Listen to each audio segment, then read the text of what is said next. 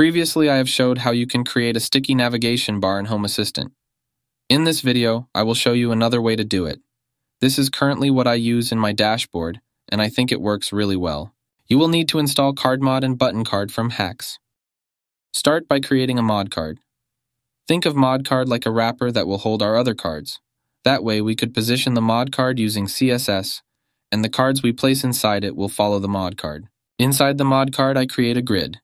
This will again work as a wrapper for the buttons. Then I use custom button card to create the buttons inside the grid. For this, all I need is an icon, and I will do some basic styling. My icon will be 24 pixels wide, but I will make the IMG cell 50 pixels. The card background and padding I set to none and 0 pixels.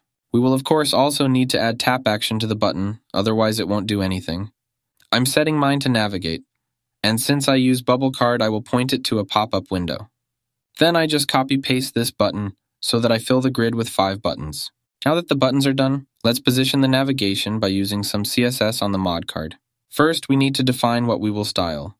In this case, it's HA card. I then start by making the whole navigation black. Then I change all the icons to be white. The border radius that I'm adding here might be unnecessary. It depends on the theme that you use. I then set position to be fixed and bottom to be 10px. This moves the whole navigation 10 pixels from the bottom. My screen recording is a bit too tall, so I had to crop and duplicate a bit. That's why it might look a bit weird on the screen here. I then set left to 10px. This moves it over to the left. We will also need to define the width of the navigation. But first, I set the padding to 10px, gives the buttons a bit more space, and z-index to 1. This makes sure it's always placed on top of other elements.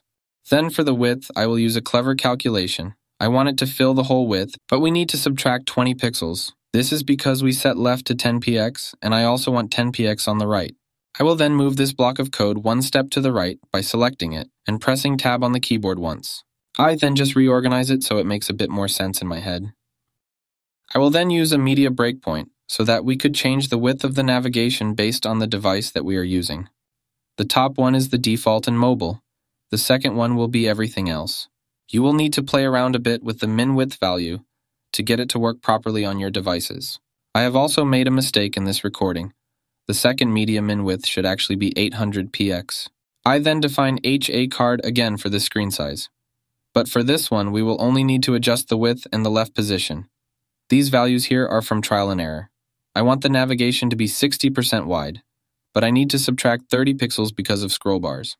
Then to place it in the middle, I set left to be 20% plus the width of the left menu.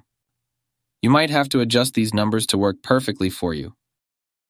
And that's it, pretty simple to do for a really cool and unique navigation bar. Here you can see how it looks on my desktop and mobile. As always, you can get the full code from the Gumroad link in the description. Thanks for watching. Until next time.